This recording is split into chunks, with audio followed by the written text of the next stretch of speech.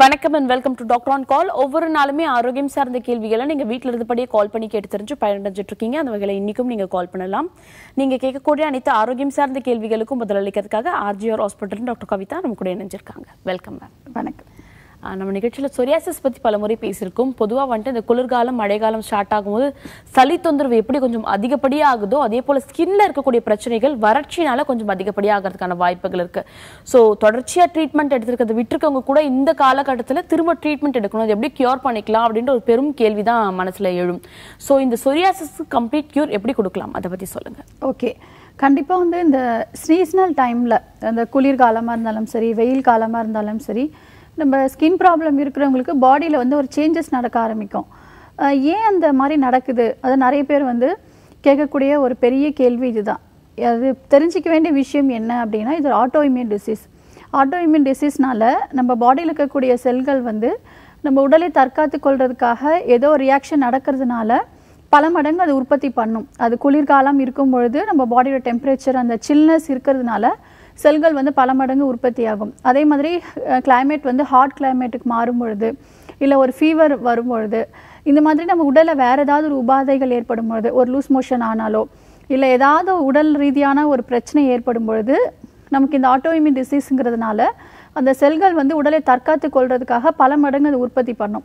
So குறிப்பிட்ட அந்த ஒரு ஒரு ஒன் வீக் டு டென் டேஸ்க்குள்ளே என்ன ஆகும்னா கடகடன்னு அந்த தோள்களை வந்து பல மடங்கு அது வந்து உற்பத்தி பண்ணி அதை செதில் மாதிரி உரிகிற மாதிரி ஒரு பிரச்சனை ஏற்படும். ஸோ இது ஆட்டோஇம்யூன் டிசீஸ்னால ஏற்படக்கூடிய பிரச்சனைகள் தான். இப்போ ஃபஸ்ட்டு வந்து ஆட்டோ இம்யூன் டிசீஸ்னால் என்ன நம்ம தெரிஞ்சுக்கணும்?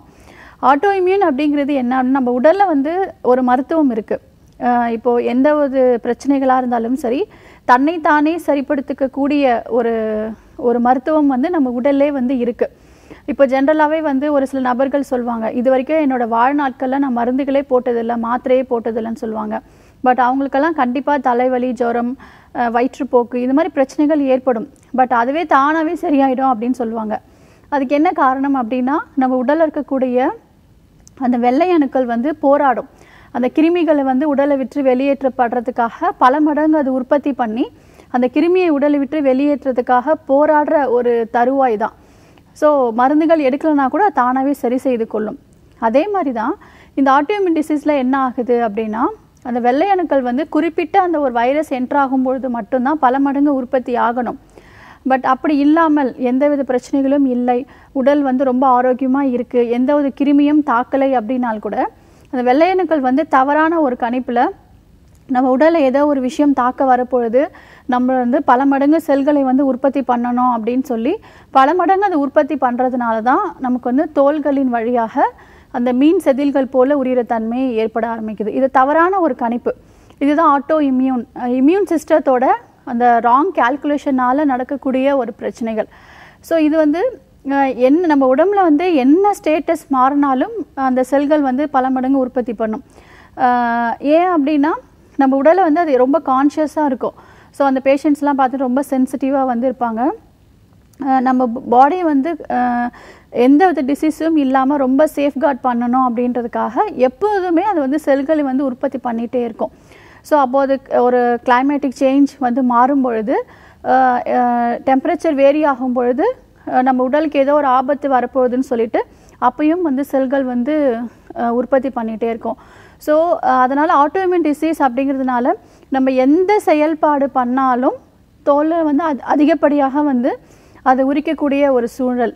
ஸோ இதுதான் நம்ம ஆட்டோமின் டிசீஸ் அப்படின்னு நம்ம சொல்கிறோம் இப்போது சித்த மருத்துவத்தில் இது வந்து கண்மை வினையினால் ஏற்படக்கூடிய ஒரு நோய் அப்படின்னு சொல்லப்பட்டிருந்தாலும் நிறைய மூலிகை மருந்துகள் இருக்குது ஸோ அதை தொடர்ச்சியாக எடுக்கும் பொழுதும் வாழ்வியல் மாற்றத்தை மேற்கொள்ளும் பொழுதும் நிரந்தர தீர்வு காண முடியும். அதாவது எப்படி அப்படின்னா நம்ம வந்து சாந்தமாக இருந்தோம் அப்படின்னா அந்த தோல் அந்த செல்களும் வந்து சாந்தமாக இருக்கும். இப்போ ஒரு மனிதன் அப்படின்னா கோவம் அப்படி அப்படிங்கிறது நார்மலான ஒரு விஷயங்கள் தான். பட் ஒரு சிலர் வந்து அதிகப்படியாக கோவப்படுவாங்க. அப்பையும் வந்து இந்த தோள்களில் இருக்கக்கூடிய செல்கள் வந்து உரிய ஆரம்பிக்கும். ரொம்ப டென்ஷன் ஆகும் பொழுதும் நம்மளோட உடலில் இருக்கக்கூடிய ரத்த ஓட்டம் அதிகமாகிறதுனால திரும்பவும் அந்த செல்கள் என்ன நினைக்கும் அப்படின்னா நம்ம பாடியில் ஏதோ ஒரு சேஞ்சஸ் நடக்குது அப்படின்னு சொல்லி திரும்பவும் செல்களை வந்து பல மடங்கு உற்பத்தி பண்ணும். அதே மாதிரி உணவு பழக்க வழக்கங்கள். அலர்ஜியான உணவு விஷயங்கள் நம்ம எடுக்கும் பொழுதும் இந்த பிரச்சனைகள் வந்து அதிகமாகும். ஸோ அதனால் அந்த பேஷண்ட்ஸை இந்த காலாஞ்சகப்படை அந்த சோரியசிஸ் அஃபெக்ட் ஆன பேஷண்ட்ஸ் வந்து என்ன பண்ணாலும் எங்களுக்கு வந்து இந்த பிரச்சனை இருந்துக்கிட்டே இருக்குது அப்படின்னு சொல்லுவாங்க. ஸோ மன ரீதியாகவும் நம்ம கொஞ்சம் கவனம் வந்து செலுத்துறது நல்ல விஷயமா இருக்கும். இப்போ நிறைய பேர் வந்து பத்தியம் அப்படிங்கிற விஷயம் வந்து ஃபாலோ பண்ணுவாங்க. அதாவது குறிப்பாக வந்து தோல் நோய் இருக்கிறவங்களுக்கு ஒரு சில உணவுகள் வந்து நம்ம ஜென்ரலாகவே நாங்கள் தவிர்த்துட்டோம் பட் அதையும் தாண்டி எங்களுக்கு தோள்களில் அரிப்புகள் அதிகமாக இருக்குது தோல் உரிகிற தன்மை அதிகமாக இருக்குது அப்படின்னு சொல்லுவாங்க. அதற்குரிய காரணம் என்ன அப்படின்னா இன்றைய காலகட்டத்தில் வரக்கூடிய உணவுகள் பத்திய உணவுகளுக்கு மீறி எந்த உணவுகளில் வேணாலும் அவங்களுக்கு அலர்ஜி ஏற்படுது. ஸோ ஒவ்வொரு நபருக்கும் ஒவ்வொரு மாதிரியான அலர்ஜி வந்து வர ஆரம்பிக்கும். ஸோ எந்த உணவு சாப்பிடும்பொழுது அவங்களுக்கு தோள்களில் வந்து அரிப்பு அதிகமாக இருக்கிறது இல்லை தோல் உரிகிற தன்மை அதிகமாக இருக்கோ அந்த உணவு வந்து அவங்க அவாய்ட் பண்ணுறது நல்ல விஷயமா இருக்கும். அதே மாதிரி ஒரு ஒரு சிலருக்கு அலர்ஜியான உணவுகள் இன்னொரு நபருக்கு வந்து எடுத்துக்கும் பொழுது எந்தவித பிரச்சனைகளும் இருக்காது. ஸோ அது ஒவ்வொரு நபரும் பார்த்து வந்து உணவில் கவனம் கவனம் செலுத்துறது நல்லது. ஸோ மைண்ட் லெவல் ரிலாக்ஸாக வச்சுக்கணும். நம்ம சாப்பிடக்கூடிய உணவுகள் வந்து அலர்ஜி இல்லாத உணவுகளாக வந்து நம்ம பார்த்துக்கணும். அதே மாதிரி நம்மளோட லைஃப் ஸ்டைலும் ரொம்ப ரொம்ப முக்கியம். நம்ம சாப்பிட்ற நேரம் நம்ம தூங்குகிற நேரம் இது எல்லாமே முக்கியம். இந்த மாதிரி விஷயங்கள் எல்லாமே ஃபாலோ பண்ணோம் அப்படின்னா கண்டிப்பாக ஒரு நிர- நிரந்தர தீர்வை வந்து காண முடியும். அதே மாதிரி உடலில் இருக்கக்கூடிய கழிவுகள் வந்து அப்பப்போ வெளியேற்றிட்டே படணும். ஒரு நாளைக்கு மூன்று முறை மலம் கழிக்கிறது நல்ல விஷயமா இருக்கும். ஸோ மலச்சிக்கல் பிரச்சனை இல்லாமல் பார்த்துக்கிறது நல்லது. உடலில் வந்து இருக்கக்கூடிய அந்த கழிவுகளை வந்து நாம் அப்பப்போ வெளியேற்றிட்டோம் அப்படின்னாலே அந்த தோலில் ஏற்படக்கூடிய பிரச்சனைகள் வந்து சீக்கிரமாக வந்து குணமாகும். நம்மளோட சித்த மருத்துவத்தில் ஃபஸ்ட்டு எல்லா விதமான நோய்களுக்கும் முதலில் நம்ம கொடுக்கக்கூடிய ட்ரீட்மெண்ட் வந்து பேதிக்கு மருந்துகள் கொடுப்போம். ஸோ அகஸ்தியர் குழம்பு அப்படின்னு ஒரு மருந்துகள் இருக்குது ஸோ அதை எடுக்கும் பொழுது உடலில் இருக்கக்கூடிய எல்லா கழிவுகளும் வெளியேற ஆரம்பிக்கும். அப்போது அந்த மருந்துகள் எடுத்து ஒரு ஒன் வீக்லேயே பார்த்தீங்கன்னா அவங்களோட சின் அவங்களோட ஸ்கின்ல வந்து நிறைய சேஞ்சஸ் இருக்கும். ஸோ அவங்களே வந்து ஃபீல் பண்ணுவாங்க. ப்ராப்பரான மெடிசன்ஸ் எதுவுமே எடுக்கல. பேதிக்கு மருந்து சாப்பிட்ட உடனே எனக்கு ஒரு சில சேஞ்சஸ்லாம் தெரியுது. என்னோட ஸ்கின் வந்து கொஞ்சம் இம்ப்ரூவ்மெண்ட்ஸ் தெரியுது அப்படின்னு சொல்லுவாங்க. ஸோ அந்த கழிவுகள் வந்து வெளியேறும் பொழுது நமக்கு கண்டிப்பாக இந்த ப்ராப்ளம் வந்து சரியாக ஆரம்பிக்கும். அதுக்கப்புறம் ப்ராப்பரான ஒரு மூலிகை மருந்துகள் தொடர்ச்சியாக அவங்களுக்கு இருக்கக்கூடிய நோய்களோட தாக்கம் உடலில் வந்து அந்த நோய் எந்த அளவுக்கு ஊறி இருக்கோ அதற்கேற்ற மாதிரி ஒரு ஆறு மாத காலமோ எட்டு மாத காலமோ தொடர் சிகிச்சை ரொம்ப முக்கியம். நிறைய பேர் வந்து மெடிசன்ஸ் எடுக்கும்பொழுது நடுவில் பிரேக் பண்ணுவாங்க. அது மாதிரி இல்லாமல் தொடர் சிகிச்சை எடுக்கிறது நல்ல விஷயமா அமையும். நம்மளோட சித்த மருத்துவத்தில் சித்தர்கள் நிறைய மூலிகை மருந்துகள் சொல்லியிருக்காங்க. அதில் ஒரு சில மூலிகைகள் நம்ம வீட்டில் இருந்தபடியே நம்ம ஃபாலோ பண்ணிக்கலாம். ஃபஸ்ட்டு எந்த ஒரு பிரச்சனையாக இருந்தாலும் சரி மருத்துவரோட ஆலோசனை பிரகாரம் நம்ம மருந்துகள் எடுக்கிறது நல்ல விஷயம். நிறைய பேர் வந்து என்ன பண்ணுறாங்கன்னா மருத்துவரோட ஒப்பீனியன் கேட்காம வீட்டில் இருந்தே ட்ரீட்மெண்ட் பண்ணிகிட்டே இருப்பாங்க. அதுவும் தவறான ஒரு விஷயம். இப்போ நம்ம சொல்லக்கூடிய விஷயங்கள் ஒரு சில பிரச்சனைகள் இருந்தது. இல்லை ஆல்ரெடி மருந்துகள் எடுத்துகிட்டு இருக்காங்க அப்படின்னா அதோடு சேர்த்து இப்போ நான் சொல்லக்கூடிய மருந்துகள் எடுக்கும் பொழுது நல்லாவே அவங்களுக்கு இம்ப்ரூவ்மெண்ட்ஸ் வந்து கிடைக்கும். இப்போது நாட்டு மருந்து கடைகளில் சிவனார் வேம்பு அப்படிங்கிற மூலிகை வந்து கிடைக்கும். சிவனார் வேம்பு வந்து ஒரு ஐம்பது கிராம் எடுத்துக்கிறீங்க அப்படின்னா வால் மிளகு பத்து கிராம் எடுத்துக்கலாம். கருஞ்சீரகம் கார்போக அரிசி பரங்கிப்பட்டை. பரங்கிப்பட்டை மட்டும் ஐநூறு கிராம் வந்து எடுத்துக்கலாம். மீதி எல்லா மூலிகையும் வந்து சம எடுத்துக்கணும். நல்லா வறுத்துட்டு ஃப்ரை பண்ணி சளிச்சு வச்சுக்கணும். காலையிலையும் நைட்டும் ஐந்து கிராம் வந்து வெந்நீரில் கலந்து எடுத்துக்கலாம். இல்லைன்னா பாலில் கலந்து எடுத்துக்கலாம். ஸோ தொடர்ச்சியாக ஒரு மூன்றிலிருந்து ஆறு மாத காலம் இப்போ நான் சொல்லக்கூடிய மூலிகை எடுத்தாங்க அப்படின்னு சொன்னால் தோல் உரிகிற தன்மை தோலில் ஏற்படக்கூடிய அரிப்புகள் தடிப்புகள் இது எல்லாமே கம்ப்ளீட்டாக வந்து குறைய ஆரம்பிக்கும். ஸோ அவங்களுக்கு இம்ப்ரூவ்மெண்ட்ஸ் வந்து நல்லாவே தெரிய ஆரம்பிக்கும். அதுக்கப்புறம் உடலில் இருக்கக்கூடிய உஷ்ணம். பாடி ரொம்ப ஹீட் அதிகமானாலும் தோல் உரிய தன்மை அதிகமாக இருக்கும். அதே மாதிரி குளிர்ச்சி அதிகமாக இருந்தாலும் தோல் அதிகமாக உரியும். அதாவது இப்போ சளி பிரச்சனை இருக்குது கிளைமேட்டிக் கண்டிஷன் ரொம்ப கூலாக இருக்குது அப்படின்னாலும் அவங்களுக்கு தோல் உரிய தன்மை இருக்கும். அதே மாதிரி நாடி பரிசோதனை செய்து அதற்குரிய ட்ரீட்மெண்ட் எடுக்கிறது நல்ல விஷயமா இருக்கும். அதுக்கு அடுத்த மூலிகை உள்ளுக்கு வந்து இப்போ நான் சொல்லக்கூடிய மூலிகை வந்து எடுத்துக்கலாம். வெளிப்பிரயோகமாக பார்த்துக்கிட்டோம் அப்படின்னா வெட்பாலை தைலம். சோரியாசிஸ்க்கு வந்து ஒரு அருமையான ஒரு மருந்து அப்படின்னு நம்ம சொல்லலாம். இந்த வெட்பாலை தைலம் வந்து உள்ளுக்கும் சாப்பிடலாம் அதே மாதிரி வெளிப்பிரயோகமாகவும் நம்ம யூஸ் பண்ணிக்கலாம். வெட்பாலை இலைகள் கண்டிப்பாக உங்களுக்கு கிடைக்கும். அதோட நரம்புகள் காம்புகள் இது எல்லாமே நீக்கிட்டு சின்ன சின்ன பீஸாக கட் பண்ணி செக்கில் ஆட்டின தேங்காய் எண்ணெயில் இலைகள் மூழ்கிற அளவுக்கு எண்ணெய் ஊற்றிட்டு வெயிலில் வச்சு வச்சு நீங்கள் எடுக்கணும். அந்த ஆயில் வந்து ப்ளூயிஷ் கலராக மாறும். அந்த தருவாயில் நீங்கள் ஒரு கண்ணாடி பாத்திரத்தில் வடிகட்டி ஸ்டோர் பண்ணி வச்சுக்கோங்க. வீரியம் மிக்க நோயாக இருந்துச்சு. சோரியசிஸு ஒரு பத்து வருஷம் பதினஞ்சு வருஷம் ரொம்ப அதிகமாக இருக்குது உடல் முழுவதும் வந்து தோல் பயங்கரமாக கொட்ட ஆரம்பிக்குது அப்படிங்கிறவங்க காலைல வெறும் வயிற்றுல நீராகாரமில் இந்த தைலத்தை வந்து மூன்று சொட்டு விட்டு உள்ளுக்கு வந்து எடுத்துக்கலாம். ஒரு மணி நேரத்துக்கு அப்புறம் நீங்கள் உணவு வந்து சாப்பிட்டுக்கலாம். இதே தைலத்தை வந்து வெளிப்பிரயோகமாக நீங்கள் அப்ளை பண்ணிகிட்டே வரலாம். குறிப்பாக வந்து ஆயில் அப்ளை பண்ணிவிட்டு ஒரு மணி நேரம் இளம் வெயிலில் காமிக்கிறது நல்ல விஷயம். அதுக்கப்புறம் குளிக்கிறது வந்து கண்டிப்பாக சோப் யூஸ் பண்ணுறது முற்றிலும் வந்து தவிர்க்கணும். மூலிகை சார்ந்த குளியல் பொடி உபயோகப்படுத்துறது நல்ல விஷயமா இருக்கும். ஸோ இப்போ சோரியாசிஸ் நோய் அப்படிங்கிறது ஆட்டோமின் டிசீஸ் நம்ம வாழ்நாள் முழுதும் மருந்துகள் எடுக்கணும் அப்படிங்கிற தருவாயில் தான் நம்ம இருக்கோம். டாக்டர்ஸ் வந்து நீங்கள் லைஃப் லாங் இந்த மருந்து சாப்பிட்டு தான் ஆகணும் அப்படின்னு நிறைய பேர் வந்து சொல்லி எங்ககிட்ட வந்து டவுட்ஸ் கேட்டிருக்காங்க. அதே மாதிரி ஸ்டீராய்டு மெடிசன்ஸ் ஸ்டீராய்ட்ஸ் எடுக்கும்பொழுது கண்டிப்பாக எல்லா விதமான நோய்களும் மேஜிக் மாதிரி க்யூர் ஆக ஆரம்பிக்கும். பட் அதற்குரிய பக்க விளைவுகள் வந்து நிறைய பேர் மெடிசன்ஸ் எடுத்து அதற்கு அதை ஃபீல் பண்ணியும் நம்ம ஹாஸ்பிட்டலில் வந்து சொல்லியிருக்காங்க. நம்மளுடைய பாரம்பரிய மருத்துவமான சித்த மருத்துவத்தில் கண்டிப்பாக இந்த சோரியாசிஸ் நோயை வந்து முழுமையாக குணப்படுத்த முடியும். நான் சொல்லக்கூடிய வாழ்வியல் மாற்றம் ரொம்ப முக்கியம்.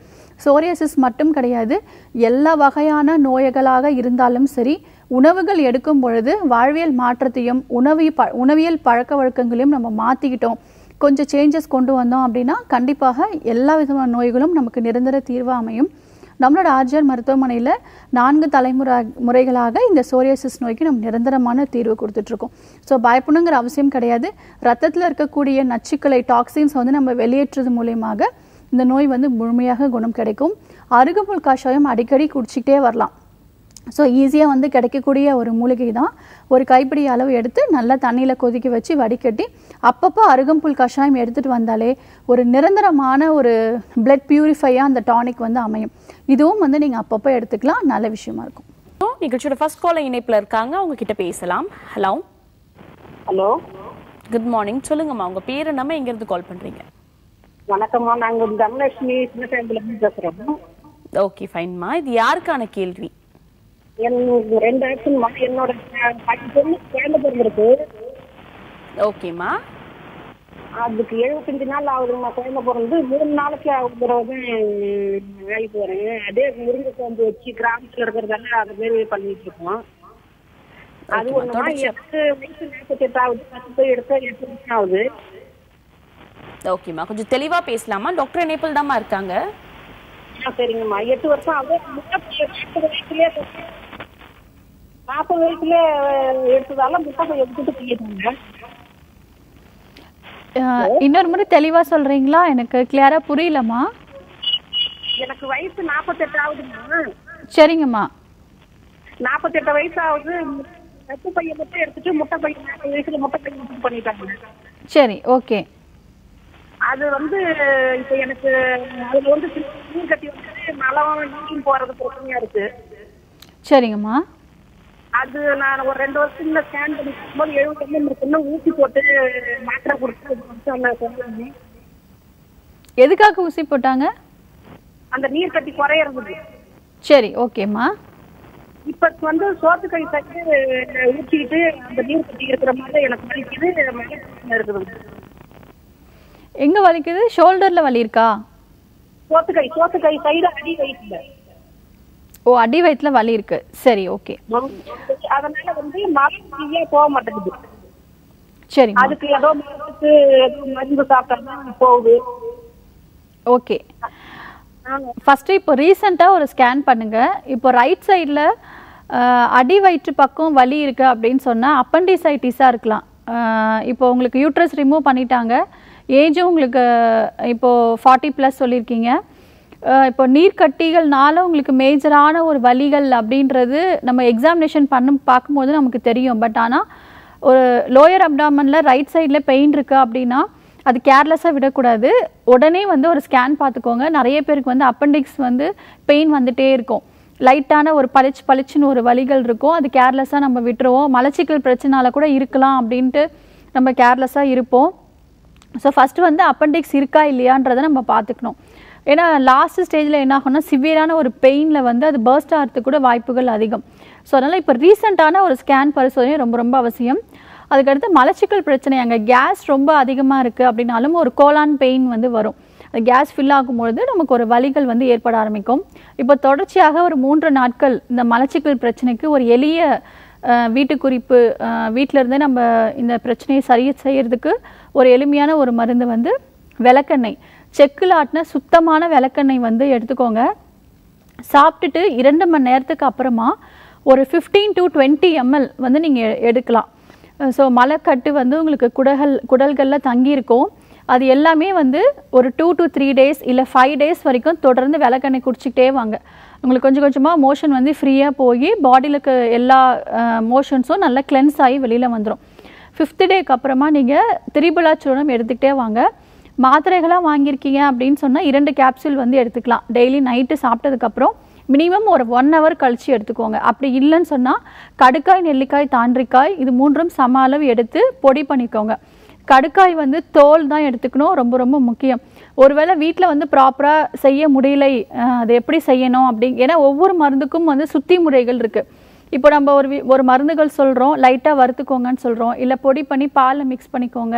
நெய்யில் மிக்ஸ் பண்ணி சாப்பிடுங்க. வெண்ணெயில் மிக்ஸ் பண்ணி எடுத்துக்கோங்க நம்ம சொல்கிறோம் அது ஒவ்வொன்றுத்துக்கும் ஒவ்வொரு மருத்துவ குணங்கள் வந்து இருக்குது ஒரு கஷாயம் சொல்கிறோம் அப்படின்னா தேனில் கலந்து எடுத்துக்கோங்க அப்படின்னு சொல்கிறோம் இது மாதிரி நிறைய விஷயங்கள் நாங்கள் சொல்கிறோம் அப்படின்னா அதுக்கு நிறைய அர்த்தங்கள் வந்து இருக்குது இப்போ கடுக்காய் வந்து நீங்கள் தோல் தான் எடுத்துக்கணும். உள்ளே இருக்கக்கூடிய அந்த விதைகளை நீங்கள் நீக்கிடணும்.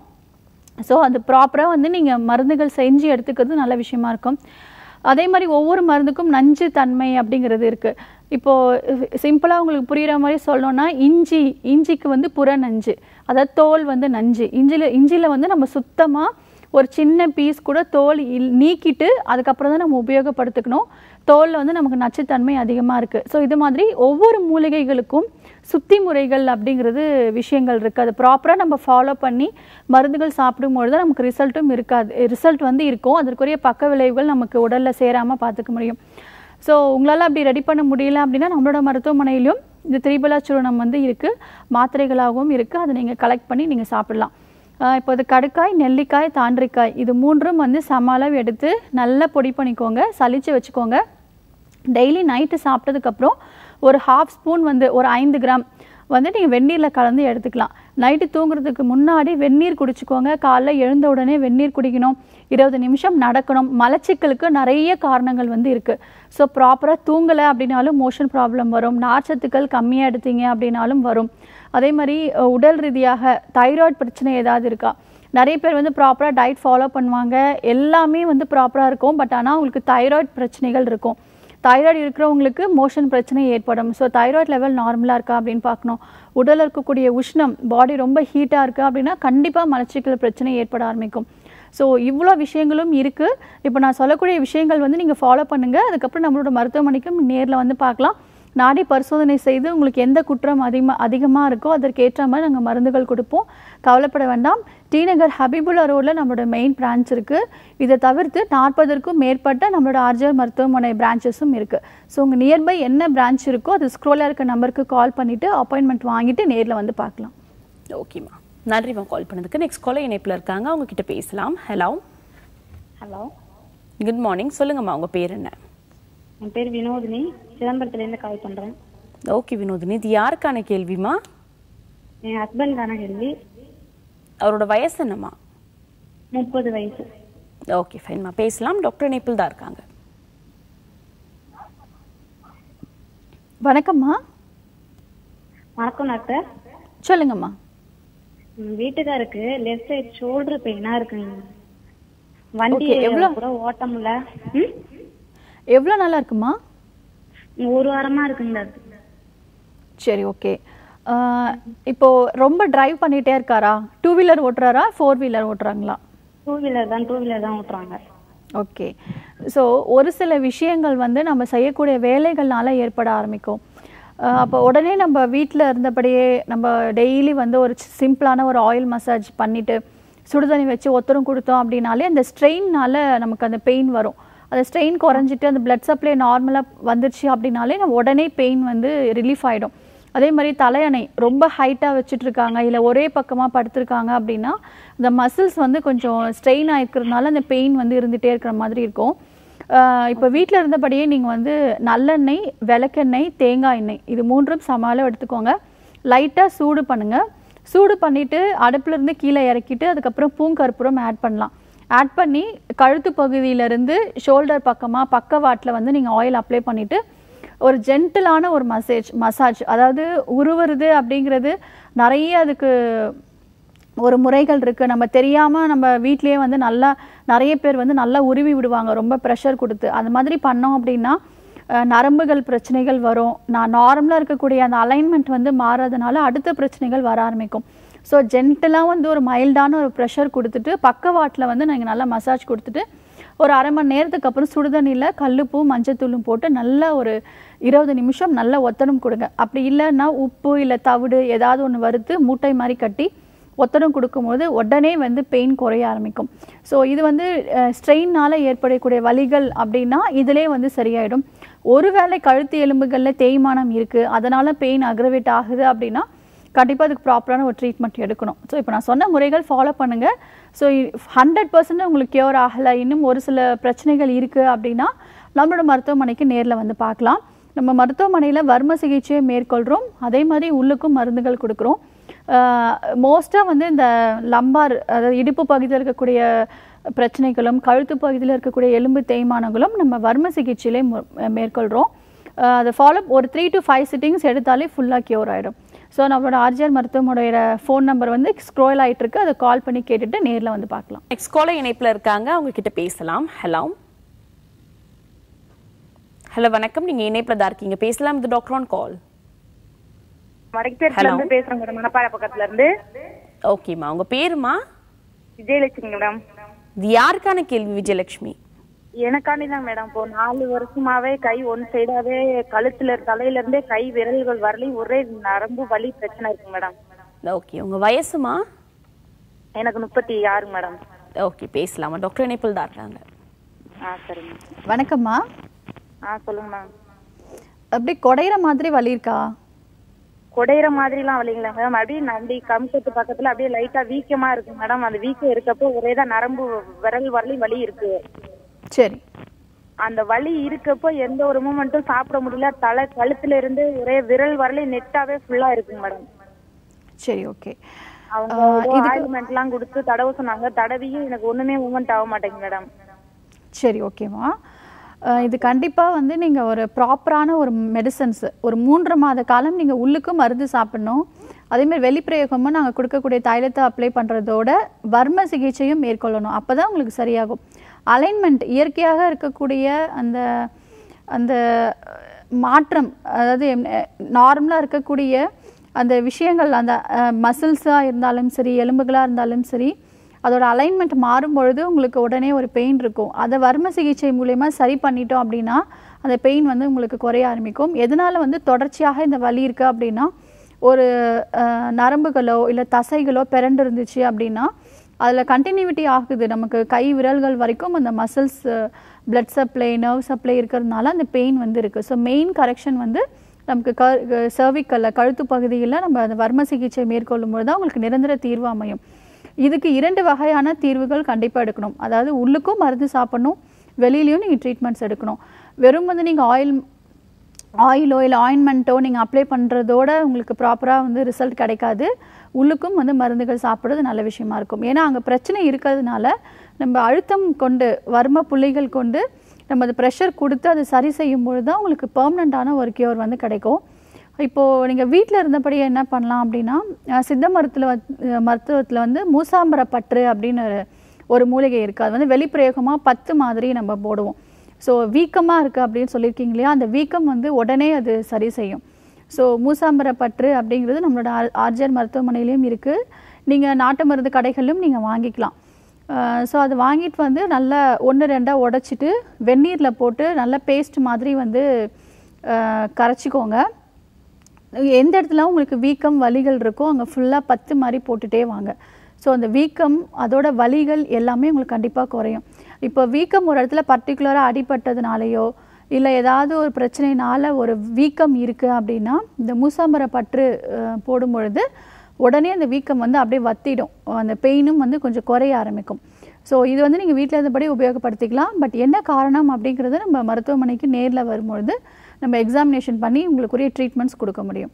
ஸோ நியர்பை பிரான்ச்க்கு நம்மளோட மருத்துவமனையில் போய் பாருங்கள் அதே மாதிரி எளிமையாக ஒரு வலி நிவாரணி அதே மாதிரி இந்த நரம்புகள் தசைகள் எல்லாமே வலுவடைகிறதுக்கு அமுக்குரா சூரணம் அப்படிங்கிற மூலிகையும் உங்களுக்கு நாட்டு மருந்து கடைகளில் கிடைக்கும். அது சம அளவு இப்போ அமுக்குரா சூரணம் வந்து எடுத்துக்கிறீங்க அப்படின்னா அதற்கு கூட சம அளவு வந்து நெரிஞ்சில் அப்படிங்கிற மூலிகையும் நீங்கள் எடுத்துக்கலாம். அதாவது நீர் கோர்த்து இருக்கும். ஒரு சிலருக்கு என்ன ஆகும்னா ஜாயின்ஸில் வந்து நீர் கோர்த்து இருக்கும். அதனாலே வீக்கம் வந்து ரொம்ப அதிகமாக இருக்கும். ஸோ இது ரெண்டும் சம அளவு எடுத்து பொடி பண்ணி காலையிலும் நைட்டும் ஒரு ஐந்து கிராம் பாலில் கலந்தோ இல்லை வெந்நீரில் கலந்தோ எடுத்துக்கலாம். எடுத்துக்கும் பொழுது அந்த கெட்ட நீர்கள் எல்லாமே வெளியேற ஆரம்பிக்கும். அப்பவும் உங்களுக்கு அந்த வீக்கமும் குறைய ஆரம்பிக்கும். வலிகளும் குறைய ஆரம்பிக்கும். அமுக்கரா சூர்ணம் வந்து ஒரு பெஸ்ட்டான ஒரு மருந்தாக இருக்கும். Any type of joint pain ஆத்ரைட்டிஸாக இருக்கிற இருக்கிறவங்களுக்கு ஒரு ஜென்ரலாக ஒரு வாதம் அதிகமாகும் பொழுது லைட்டாக ஒரு பெயின் வந்து வர ஆரம்பிக்கும். ஸோ அந்த மாதிரி இருக்கிறவங்களுக்கும் இந்த அமுக்கச்சு அமுக்கரா சூர்ணம் வந்து ஒரு பெஸ்ட் ரிசல்ட் கிடைக்கும். ஸோ ப்ராப்பரான ஒரு மெடிசன்ஸ் எடுக்கும்போது உங்களுக்கு கம்ப்ளீட் கியூர் இருக்கு ஓகேம்மா தேங்க்யூம்மா கால் பண்ணதுக்கு. நெக்ஸ்ட் காலர் இணைப்பில் இருக்காங்க. அவங்க கிட்ட பேசலாம் hello hello hello good morning சொல்லுங்கம்மா உங்க பேர் என்ன? ஹலோ உங்க பேர் என்னம்மா? ஹலோ வணக்கம்மா. நீங்க லைன்ல தான் இருக்கீங்க. உங்க பெயர் என்ன? மேடம் நான் என் மகனுக்காக கேட்கணும் ஓகே ஃபைன்மா எங்க இருந்து கால் பண்றீங்கம்மா நான் சென்னையில இருந்து கால் பண்றேன். ஓகே உங்க மகளோட வயசு என்னம்மா? என் மகனுக்கு வயசு இருபத்தொன்னு. ஓகே ஃபைன்மா டாக்டர் இணைப்பில் தாம்மா இருக்காங்க. உங்களோட கேள்வி தொடர்ச்சியா கேட்கலாம். அவனுக்கு முடி வந்து வெள்ளை முடி கொஞ்சம் தலையில அதிகமா இருக்குது. சரி ஹேர் ஃபால் இருக்குது. முடி உதிருது சரி சரி. கொஞ்சம் பொடுகு இருக்குது. சரிங்கம்மா. எவ்வளவு நாளா பண்ண- ஹலோ சொல்லுங்க மேடம். எவ்வளோ நாளா இருக்குமா? அவனுக்கு கொஞ்சம் சின்ன வயசுல இருந்து ஒரு பத்து பன்னெண்டு வயசுல இருந்தே இருக்குது அது அந்த மாதிரி. பொடுகெல்லாம் இப்பதான் வந்தது. வெள்ளை முடி சின்ன வயசுல இருந்தே இருக்குது. ஓகே. இப்போ? அவனுக்கு வந்து ரொம்ப டென்ஷன் ஆகுறான் அவன். இந்த முடி உதறதுனால ரொம்ப மனசு வருத்தப்படுறான். சரி ஓகே. நீங்கள் தெரிஞ்சுக்க வேண்டிய விஷயம் என்ன அப்படின்னா ஃபஸ்ட்டு தலையில் இருக்கக்கூடிய பிரச்சனை பொடுகுதானா? நிறைய பேர் வந்து தோல் ப்ராப்ளமாக இருக்கலாம் தோல் நோயாக இருக்கலாம். நான் பயமுறுத்துறதுக்காக சொல்லலை தெளிவான ஒரு ஒரு விஷயத்தை நம்ம தெரிஞ்சுக்கணும். இது டேண்ட்ரஃப் தானா? அதாவது நிறைய பேருக்கு தோல் வியாதியாக இருக்கும். பட் பொடுகு தலையில் ஒரு பிரச்சனைனாலே நமக்கு எல்லாமே கலோக்கலையாக சொல்லக்கூடிய ஒரு விஷயம் வந்து பொடுகு. தலையில் பொடுகு இருக்கா? பொடுகாக தான் இருக்கும் அப்படின்னு நம்ம நினைப்போம். பட் அதுக்கப்புறம் மருத்துவர்கிட்ட போய் பார்க்கும்போது அது பொடுகில் வேறு மாதிரியான தோல் சம்மந்தப்பட்ட பிரச்சனைகள் அப்படின்னு சொல்லுவோம். ஸோ என்ன மாதிரியான ஹேர் ஃபால் இருக்குது அப்படிங்கிறத ஃபஸ்ட் நம்ம பார்க்கணும். ஈவனாக வந்து கொட்டுதா? இல்லை பேட்ச் பேட்சாக வந்து ரவுண்ட் ரவுண்டாக வந்து ஹேர் ஃபால் ஆகுதா? அப்படிங்கிற மாதிரி நம்ம நிறைய எக்ஸாமினேஷன் வந்து பண்ணுவோம். அதே மாதிரி நீங்கள் வீட்டில் இருந்தபடியே நல்லா அப்சர்வ் பண்ணுங்கள் தோல் மாதிரி உரியுதா? இல்லை பவுடர் ஃபார்மில் கொட்டுதா? இல்லை ஆயிலியாக வந்து தோல் உறிஞ்சாலும் தலையிலேயே வந்து அப்படியே பிசு பிசுன்னு ஒட்டிக்குதா? இதெல்லாம் கொஞ்சம் அப்சர்வ் பண்ணுங்கள் ஸோ எதுக்கும் ஒரு முறை நேரில் வந்து காமிக்கிறது நல்ல விஷயமா இருக்கும். டி நகர் ஹபீபுல்லா ரோட்டில் நம்மளோட ஆர்ஜர் மருத்துவமனை இருக்குது அங்கே டேரெக்டாக கொண்டு வாங்க. கண்டிப்பாக இதை முழுமையாக குணப்படுத்திக்கலாம். இப்போ நம்ம தெரிஞ்சிக்க வேண்டிய விஷயம் என்ன அப்படின்னா டேண்ட்ரஃப் இருக்கிற வரைக்கும் முடி கொட்டுற பிரச்சனை இருந்துகிட்டே தான் இருக்கும். ஃபஸ்ட்டு வந்து டேண்ட்ரஃபை கிளியர் பண்ணுறதுக்குரிய முயற்சிகள் எடுக்கணும். அதுக்கப்புறமா தான் முடி வளர்றதுக்கான மருந்துகளும் அதே மாதிரி வெளிப்பிரயோகமாக வந்து ஒரு ஜென்டலான ஒரு மசாஜ்க்கு ஒரு ஒரு ஹெல்த்தியான ஒரு மூலிகை தைலங்கள் கொண்டு நம்ம மசாஜ் கொடுக்கறதுக்கான முயற்சிகளை நம்ம வந்து நம்ம ஃபாலோ பண்ணோம் பொடுகு இருந்துகிட்டே இருக்கும் பட் ஆனால் ஹெல்த்தியான உணவுகள் சாப்பிட்டாலோ இல்லை என்ன டைப் ஆஃப் ஆயில் அப்ளை பண்ணாலும் நமக்கு கண்டிப்பாக ரிசல்ட் இருக்காது. டேண்ட்ரஃபை வந்து ஹண்ட்ரட் பர்சன்டேஜ் வந்து க்யூர் பண்ணணும். இப்போ நிறைய பேருக்கு வந்து டேண்ட்ரஃப்க்கு வந்து ட்ரீட்மெண்ட்டோ இல்லை ஒரு ஷாம்புவோ வந்து எடுப்பாங்க. ஒரு ஆயிலோ வந்து அப்ளை பண்ணுவாங்க. ஒரு குறிப்பிட்ட ஒரு டூ வீக்ஸ்லேயே பார்த்தீங்கன்னா ஃபுல்லாக கிளியர் ஆகிடும் பட் நம்ம கிளியர் ஆகிடுச்சின்னு சொல்லிட்டு திரும்ப நம்மளோட நார்மலாக ரொட்டீன் லைஃப்க்கு போயிட்டுருப்போம் பட் அப்படி கிடையாது. ஒரு ப்ராப்பராக ஒரு சிக்ஸ் மந்த்ஸாக தான் அந்த மெடிசன் மெடிகேஷன்ஸ் வந்து ஃபாலோ பண்ணும். ஏன்னா அது ஒரு ஃபங்கல் இன்ஃபெக்ஷனால் ஏற்படக்கூடிய பிரச்சனைகள். அடுத்த விஷயம் இது ஸ்ப்ரெட் ஆகும். இப்போது ஒருத்தர்கிட்டருந்து இன்னொரு நபருக்கு ஸ்ப்ரெட் ஆகும். ஸோ ஹைஜீன் ரொம்ப ரொம்ப முக்கியம். மெடிசன்ஸ் ஃபாலோ பண்ணுறதோட அவங்க யூஸ் பண்ணக்கூடிய டவல் பில்லோ கவர்ஸ் பெட்ஷீட்ஸு சீப்பு இது எல்லாமே வந்து டெய்லி வாஷ் பண்ணணும். அது நல்லா ஸ்டெரைல் பண்ணிவிட்டு அதுக்கப்புறம் யூஸ் பண்ணிங்கன்னா திரும்பவும் அந்த ஃபங்கஸ் டேண்ட்ரஃப் வந்து வராமல் பார்த்துக்க முடியும். ஸோ லைஃப் ஸ்டைல் மாடிஃபிகேஷன் வந்து இதுதான் நம்ம சொல்லிகிட்ருக்கோம் இருக்கோம். இதோட சேர்த்து கண்டிப்பாக இதை குணப்படுத்திக்கலாம். இப்போ வீட்டில் இருந்தபடியே வந்து ஒரு பெஸ்ட்டான ஒரு ட்ரீட்மெண்ட் பார்த்துக்கிட்டோம்னா வேப்ப இலை. ஸோ வேப்ப இலை வந்துட்டு நல்லா நல்ல மைய அரைச்சி தலையில் ஒரு பேக் மாதிரி போடுங்க. ஒரு டுவெண்ட்டி மினிட்ஸ்க்கு அப்புறம் சேக்காய் கொண்டு வாஷ் பண்ணுங்கள் சேக்காய்க்கு வந்து ஆன்டி டேண்ட்ரஃப் ஃபங்கல் ஆக்ஷன் வந்து இருக்குது தொடர்ச்சியாக சேக்காய் யூஸ் பண்ணிகிட்டே வந்தோம் அப்படின்னா கண்டிப்பாக அந்த டேண்ட்ரஃப் தானாகவே வந்து க்யூர் ஆக ஆரம்பிக்கும். அதுக்கு அடுத்து நம்ம யோசிக்க வேண்டிய ஒரு விஷயம் வெள்ளை முடி. இப்போ இருக்கிற வெள்ளை முடியை நம்ம எதுவுமே பண்ண முடியாது. அதோட லைஃப் ஸ்பேன் முடிஞ்சதுக்கப்புறம் அது கொட்டினதுக்கப்புறம் அதுக்கு அடுத்து வளரக்கூடிய முடிகள் வந்து நம்ம கருப்பு நிறமாக மாறத்துக்கான முயற்சிகள் கொண்டு வரலாம். இப்போ இருக்கிற வெள்ளை முடியை வந்துட்டு பிடுங்கி எடுக்கிறதோ இல்லை வேறு ஏதாவது கலரிங் பண்ணுறதோ இது மாதிரிலாம் பண்ணால் நிறைய வந்து ஸ்கேல்ப் டேமேஜ் ஆக ஆரம்பிக்கும். அதே மாதிரி லிவரோட ஃபங்க்ஷன் வந்து ஹெல்த்தியாக நம்ம கொண்டு வரணும். லிவரில் நிறைய டாக்ஸின் வந்து அக்குமுலேட் ஆகிருக்கும் அது எல்லாமே கிளென்ஸ் பண்ணுறதுக்கு ப்ராப்பரான ஒரு ட்ரீட்மெண்ட் எடுக்கணும். நிறைய உணவில் வந்து இரும்புச்சத்து உள்ள உணவுகள் எடுத்துக்கணும். கத் பேரிச்சம்பழம் அத்திப்பழம் மாதுளம்பழம் பீட்ரூட்டு கருவேப்பிலை முருங்கைக்கீரை இந்த மாதிரியான இரும்புச்சத்துள்ள உணவுப் பொருட்கள் நம்ம நிறைய எடுத்துக்கணும். அதே மாதிரி கரிசாலை அப்படிங்கிற மூலிகையும் பொன்னாங்கண்ணி கருவேப்பிலை இந்த மூன்று மூலிகையும் போட்டு நல்லா ஆயிலை வந்து தேங்காய் எண்ணெயில் போட்டு நல்லா காய்ச்சி வடிகட்டி அந்த ஆயிலை வந்து நல்லா ஜென்டிலாக ஒரு டுவெண்ட்டி மினிட்ஸ் நல்லா மசாஜ் கொடுத்தீங்க அப்படின்னா பிளட் சப்ளை இம்ப்ரூவ் ஆகிறதுனால ஏர் க்ரோத் வந்து வரும். பட் மெயினாக வந்து உள்ளுக்கு ப்ராப்பரான ஒரு டயட் ஃபாலோ பண்ணும்போது நல்ல ரிசல்ட் இருக்கும். அதே மாதிரி டென்ஷன் ரொம்ப அதிகமாக இருக்குது அப்படின்னா கண்டிப்பாக அது குறை குறைக்கிறதுக்கான முயற்சிகள் மேற்கொள்ளணும். நம்ம உடலில் வந்து என்ன ரீதியான பிரச்சனைகளாக இருந்தாலும் சரி நம்ம நமக்கு இரண்டு வகையில் நம்மளோட பாடி வந்து வெளி காமிக்கும். ஒன்று வந்து ஹேரு அதுக்கு அடுத்து நம்மளோட நெயில்ஸு அதுக்கடுத்து நம்மளோட உடலோட தோற்றம் வெளியில் இருக்கும்போது. டென்ஷனாக இருக்கும்போது அவங்களோட முகத்தை பார்க்கும்போதே நமக்கு தெரியும். ஸோ இது மாதிரி விஷயங்கள் எல்லாமே நம்மளோட பிரச்சனைகள் உடலில் உள்ளே இருக்கக்கூடிய பிரச்சனைகள் நமக்கு வெளியே காமிக்கும். ஸோ கொஞ்சம் யோகா மெடிடேஷன் இதெல்லாம் கொஞ்சம் பண்ணணும். ஆயில் பாத் வந்து எடுக்கணும். ப்ராப்பரான ஒரு ஸ்லீப் தூ ப்ராப்பரான ஒரு தூக்கம் இருந்தாலே நம்மளோட ஹேர் வந்து ஹெல்த்தியாக வந்து இருக்கும். ஸோ ஒரு முடி அப்படிங்கிற நம்ம சாதாரணமாக நினச்சிட்ருக்கோம் இவ்வளோ விஷயங்கள் நம்ம ஃபாலோ பண்ணால் மட்டுமே நமக்கு ரிசல்ட் வந்து கிடைக்கும். நம்மளோட மருத்துவமனையில் பொடுகு பிரச்சனையாக இருந்தாலும் சரி இல்லை வேறு ஏதாவது ஸ்கின் ப்ராப்ளமாக இருந்தாலும் சரி கண்டிப்பாக பெர்மனன்ட் க்யூர் வந்து நம்ம கொடுத்துட்ருக்கோம் ஒரு த்ரீ மந்த்ஸ் கோர்ஸ் எடுக்கும்போது உங்களுக்கு நல்ல ரிசல்ட் இருக்கும். ஒருவேளை பிரச்சனைகள் ரொம்ப அதிகமாக இருக்குது மைண்ட் லெவலில் பிரச்சனைகள் அதிகமாக இருக்குது அப்படின்னா ப்ராப்பராக ஒரு கவுன்சிலிங்கும் நம்ம கொடுக்குறோம். ஸோ இதெல்லாம் கம்பைன் பண்ணி எடுக்கும்போது கண்டிப்பாக க்யூர் உண்டு பயப்பட வேண்டாம். ஓகேம்மா தேங்க்யூம்மா கால் பண்ணதுக்கு. நெக்ஸ்ட் காலர் இணைப்பில் இருக்காங்க. அவங்க கிட்ட பேசலாம். ஹலோ ஹலோ குட் மார்னிங் நீங்க லைன்ல தான் இருக்கீங்க. பேசலாம் வித் டாக்டர் ஆன் கால் சொல்லுங்கம்மா உங்க பேர் என்ன? வணக்கம்மா உங்க பேர் என்ன? ஹலோ என் பேர் மசியா. எங்க இருந்து கால் பண்றீங்கம்மா? நான் வந்து ராயப்பேட்டையில இருந்து பண்றேன். ஓகே ஃபைன்மா இது யாருக்கான கேள்வி? என்னுடைய எனக்காக கேள்வி. உங்க வயசு? என் வயசு சிக்ஸ்டி சிக்ஸ் ஓகே ஃபைன்மா டாக்டர் இணைப்பில் தான்மா இருக்காங்க. உங்களோட சந்தேகத்தை கேட்கலாம். வணக்கம். சொல்லுங்கம்மா. வணக்கம். வணக்கம் டாக்டர். சொல்லுங்க. எனக்கு முட்டில பெயின் இருக்கு ஒரு. முட்டில ஒரு ரெண்டு நாள் இருக்கு. மறுபடியும் ஒரு முட்டில மறுபடியும் ரெண்டு நாள் வருது. சம்டைம் இந்த இடுப்புல அப்படியே பிடிக்குது. இந்த. இடுப்பு வலி அதிகமா இருக்கு. சரிங்கம்மா. மோஷன் ஃப்ரீயாக போகிறீங்களா இதான் கேக்குறேன் டாக்டர். சரிங்கம்மா. மோஷன் ஃப்ரீயாக இருக்கா? ஆ அதெல்லாம் ஃப்ரீயா போறோம் சரி ஓகே. இப்போ ஜென்ரலாகவே பார்த்தீங்கன்னா டியூ டு ஏஜ்னால நமக்கு போன்ஸ்லலாம் கொஞ்சம் தேய்மானம் இருக்கும். இதை நம்ம தெரி புரிஞ்சிக்கணும்.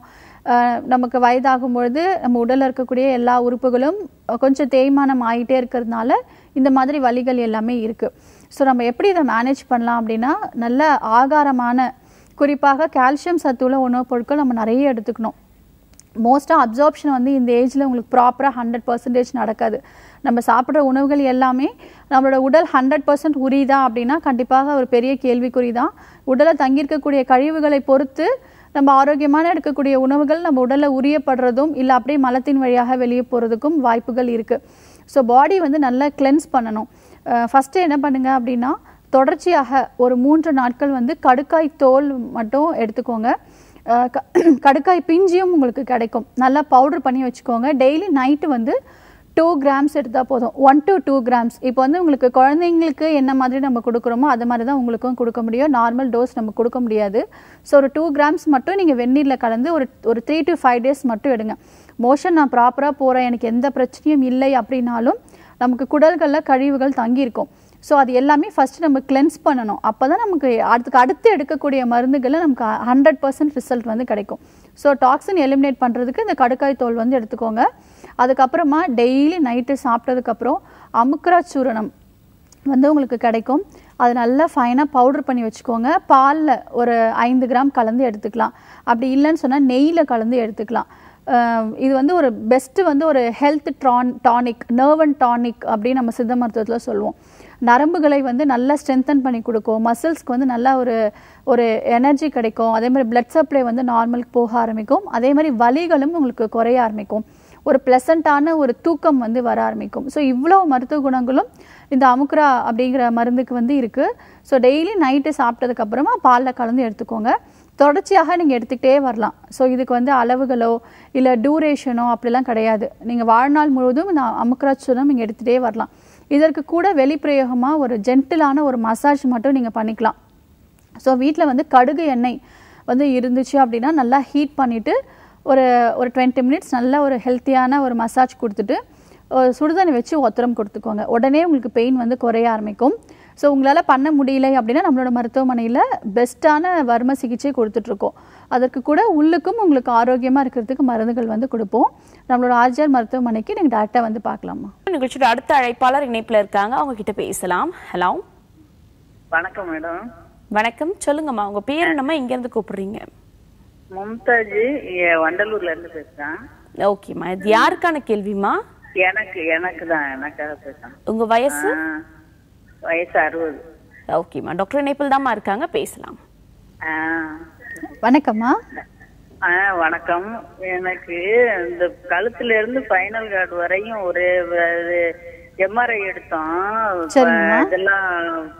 பல்ஸ் ஆயிருக்கு அப்படின்னாங்க. சரி ஓகே. ஆ, வந்துட்டு சித்தாவில் தான் இங்க தாம்பரத்துல காமிச்சு இதெல்லாம் எண்ணெயெல்லாம் ஆயில்லாம் அப்ளை பண்ணி கொஞ்சம் நான் பெட்ல ஒரு மாசம் இருந்து இது பண்ணேன். சரிங்கம்மா அதெல்லாம் இப்ப சரியாயிடுச்சு. இப்ப என்னன்னா கொஞ்ச நாளா அந்த ஃபைனல்ல லாஸ்ட் ஃபைனல் கார்டுல இருந்து குனிஞ்சு நிமிந்தாவே உடனே வலி வந்துருது. அந்த வலி என்ன செய்யுது கால்ல தொடையில இருந்து கீ கிறண்ட பாதம் வரையும் அப்படியே பரவி கீ கால் பாதம் தரையில ஊண்டி நிக்க முடியல. மத மத மதன்னு அப்படியே பூச்சி விடுற மாதிரி நரம்புலாம் அப்படியே ஒரு மாதிரி ஊறுது. கடுப்பு செம்மையா கடுக்குது நிக்கவே முடியல. நானும் இன்னமும் ஆயில்லாம் தேய்ச்சுதான் அந்த தேய்ச்சி ஏதோ பண்ணி பாக்குறேன் ஒண்ணுமே இல்ல எதுவுமே குனிஞ்சே நிமிர முடியல. ஒரு பக்கம் இடுப்பு அப்படி இந்த பக்கம் வலது காலு. அப்படியே தூக்குன மாதிரி இடுப்பு தூக்குன மாதிரி நடக்கவே முடியல. ரொம்ப கஷ்டமா இருக்கு. சரிம்மா. கவலைப்படாதீங்க சரியா? நம்ம வர்ம சிகிச்சையில நம்மளால சரி பண்ண முடியும். இது மாதிரி டிஸ்க் ப்ரொலாப்ஸ் இல்லை டிஸ்க் பல்ஜ் பிரச்சனை கம்ப்ரெஷன் ஏதாவது இருந்தது அப்படின்னாலும் நீங்க ஒரு உள்ளுக்கு மருந்துகள் சாப்பிட்றதோட வெளிப்பிரயோகமாக கண்டிப்பாக ஒரு டென் டு ஃபிஃப்டீன் சிட்டிங்ஸ் வந்து நீங்கள் வர்ம சிகிச்சை மேற்கொண்டால் மட்டுமே இதுக்கு நிரந்தர தீர்வு காண முடியும். வெளிப்பிரயோகமாக வெறும் நீங்கள் தைலம் மட்டும் அப்ளை பண்ணியிருந்தீங்க அப்படின்னா கண்டிப்பாக ரிசல்ட் இருக்காது. ஒத்தடம் கொடுக்குறீங்க அப்படின்னா நமக்கு ஒரு ஒரு டுவெண்ட்டி மினிட்ஸ் மட்டும்தான் அந்த பெயின் இல்லாமல் இருக்கும். ஏன்னா உங்களுக்கு பல்ஜ் ப்ராப்ளம் இருக்குது ஸோ அது சரி செய்யறதுக்காக வறுமை சிகிச்சை முறைகள் கண்டிப்பாக நீங்கள் எடுக்கிற மாதிரி இருக்கும். மோஷன் பிரச்சனை இல்லாமல் பார்த்துக்கோங்க மோஷன் ப்ராப்ளம் இருந்தது அப்படின்னு சொன்னால் உடம்புல வாதம் அதிகமாகும். வாதம் அதிகமாகும் போது வலிகளும் அதிகமாகும். ஸோ அதனால தான் நமக்கு ப்ராப்பராக மோஷன் வந்து ஃப்ரீயாக போகிற மாதிரி பார்த்துக்கணும் ஸோ நீங்கள் டி நகர் ஹபீபுல்லா ரோட்டில் நம்மளோட மருத்துவமனை இருக்குது ஸோ இப்போ நான் நான் ஏதாவது உங்களுக்கு மெடிசன் சொன்னாலும் உங்களுக்கு ஹண்ட்ரட் பர்சன்ட் வந்து உங்களுக்கு கியூர் கிடைக்காது. ப்ராப்பரான ஒரு சிகிச்சை குறிப்பாக வர்ம சிகிச்சை ரொம்ப ரொம்ப அவசியம். ஸோ அதோட சேர்த்து உள்ளுக்கும் மருந்து சாப்பிடுங்க. கண்டிப்பாக சரியாகும். ஸோ நம்மளோட மருத்துவமனைக்கு நீங்கள் நேரில் வந்து பார்க்கலாம். ஓகேம்மா தேங்க்யூம்மா கால் பண்ணதுக்கு. நெக்ஸ்ட் காலர் இணைப்பில் இருக்காங்க. அவங்க கிட்ட பேசலாம். ஹலோ ஹலோ குட் மார்னிங்மா நீங்கள் இணைப்பில் தான் இருக்கீங்க. பேசலாம் doctor on call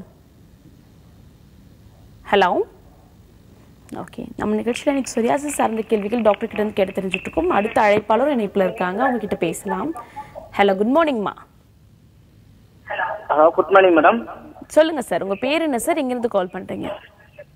தேனி மாவட்டம் மேடம். ஓகே இது யாருக்கான கேள்வி சார் மகன் மேடம் மகன் பயலுக்கு. அவரோட வயசு சார் வயசு பதினாறு. ஓகே ஃபைன் டாக்டர் இணைப்பில் தான் இருக்காங்க. உங்களோட கேள்வியை கேட்கலாம். வணக்கம்.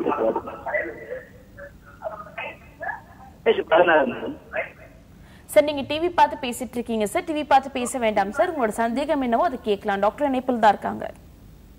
சரிங்க மேடம். வணக்கம் சார். சொல்லுங்கள் ஆ, மேடம் வய வயசு பதினாறாவது மேடம். ஓகே. அந்த கால் கொஞ்சம் சரியா இதாக சொல்லி ஆஸ்பத்திரியில் காமிச்சேன் மேடம். சரிங்க. அது கொஞ்சம் நரம்பு வீக்கா இருக்குன்னு சொன்னாங்க. ஓகே ஆமா மேடம் அது அவங்க கிட்ட சொன்னதுக்கு மிஷின் வைக்கணும் அப்படி இப்படின்னு சொன்னாங்க. சரிங்க. அது எப்படி மேடம் நம்ம தனியா இங்க ஹாஸ்பிட்டல் வந்து பார்க்கலாமா ஓகே நடக்கிறாரா?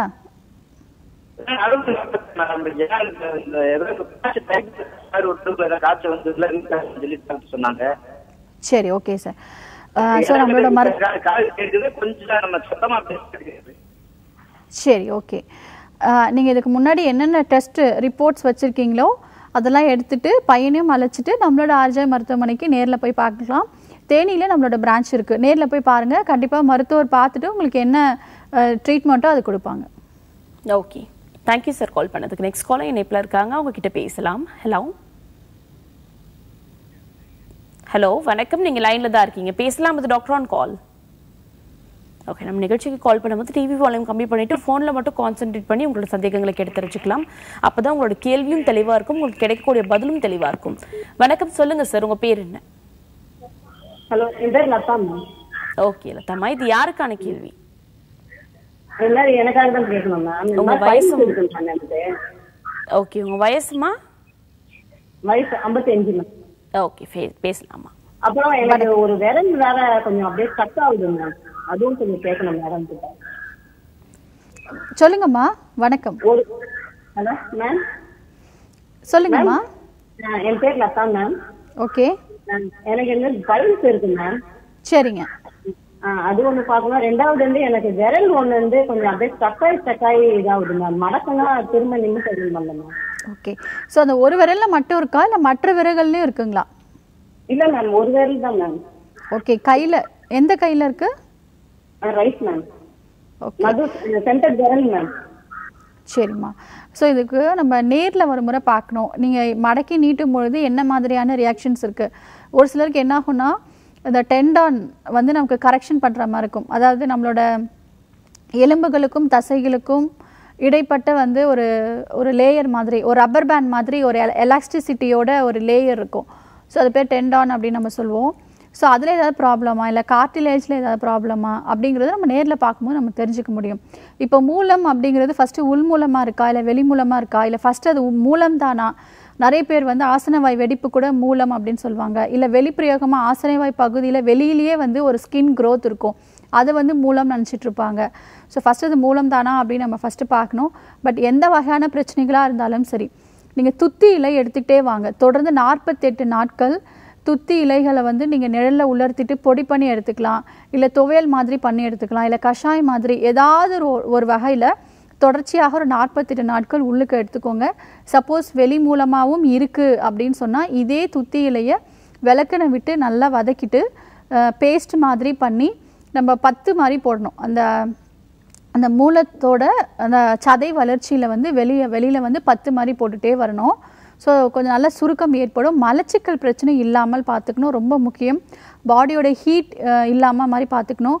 நார் சத்துள்ள உணவுப் பொருட்கள் கண்டிப்பாக நீங்கள் கவனம் செலுத்தி எடுத்துக்கணும். நிறைய கீரை காய்கறி பழங்கள் எடுத்துக்கோங்க. கொய்யா காய் வந்து எடுத்துக்கலாம். இந்த துத்தி இலை சாப்பிடும்பொழுதே உடலுக்கக்கூடிய உஷ்ணமும் தானாக குறைய ஆரம்பிக்கும். திரிபலாச்சூரணம் அதையும் நீங்கள் டெய்லி நைட்டு ஒரு ஃபைவ் கிராம்ஸ் வெந்நீரில் கலந்து எடுத்துக்கோங்க. இதே திரிபலாச்சூரணத்தை வந்து தண்ணியில் போட்டு நல்லா கொதிக்க வச்சு ஒரு சிட் பாத் மாதிரி ஒரு பெரிய டப்பில் வந்து இந்த திரிபலா கஷாயத்தை போட்டு நீங்கள் ஒரு இருபது நிமிஷம் உட்கார்ந்தீங்க அப்படின்னா அந்த வளர்ந்த சதை எல்லாமே சுருங்க ஆரம்பிக்கும். இதற்கு கூட நம்மளோட மருத்துவமனையிலும் நிரந்தரமான ஒரு தீர்வு அறுவை சிகிச்சை இல்லாமலே கொடுத்துட்ருக்கோம். ஸோ நேர்லேயும் போய் பார்க்கலாம். ஓகே. தேங்க்யூமா கால் பண்ணதுக்கு. டாக்டர் வந்து ஒன் ஹவர்ல ஆரோக்கியம் சார்ந்த எல்லா கேள்விக்குமே தெளிவாக பதில் அளிச்சிங்க. நன்றி. நன்றி. நீங்களும் வீட்டில் இருந்தபடி ஆரோக்கியம் சார்ந்த கேள்விகள்லாம் கேட்டு தெரிஞ்சுட்டு இருப்பீங்க இதே போல் நாளைக்கும் வேறு டாக்டரோட உங்களை சந்திக்கிறேன். அண்டிலும் கிடைக்காட்டலிங் பை ஃப்ரம் யூ ஆல்